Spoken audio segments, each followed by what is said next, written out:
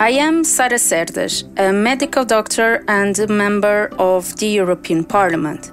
Today, I would like to walk you through the difficulties encountered by people living with Alzheimer's disease. Forgetting recent conversations or important events too often, feeling confused about time and place, personality changes such as being more impulsive, frequent trouble in finding the right words regularly losing train of thought, having difficulty making decisions or understanding instructions. This isn't normal aging. Instead, it may be symptomatic of Alzheimer's disease.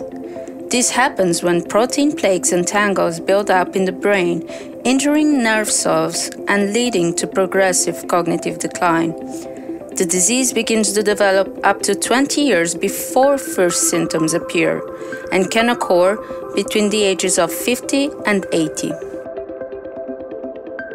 I'm Tomislav Sokol, a member of the European Parliament, and here's why the fight against Alzheimer's disease should be a priority for the EU.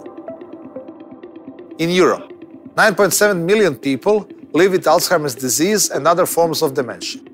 By 2030, that number is projected to rise to 14 million, with societal costs growing significantly to 250 billion euros.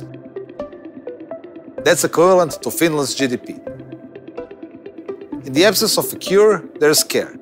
The strain of Alzheimer's disease cascades to families and across societies. And by 2050, the number of Europeans aged 65 and over, the prime age for advanced Alzheimer's disease, will nearly double. I am Claudia Gamon, a member of the European Parliament. The time is now to look ahead and strategically plan for tomorrow's challenges, such as Alzheimer's disease. While there's no cure today, clinical development is underway. But health systems need to prepare for potential new therapies that might help target earlier stages of Alzheimer's disease and preserve people's independence longer. For that, the European Union and national governments need to make Alzheimer's disease a policy priority. Health professionals need improved training to identify symptoms at the first stages. Individuals, families, and caregivers need to learn more about risk reduction and early warning signs.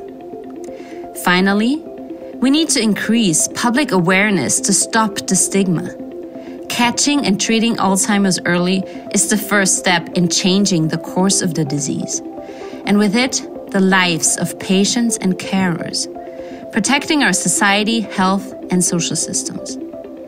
Together, we have to turn this disease into a distant memory.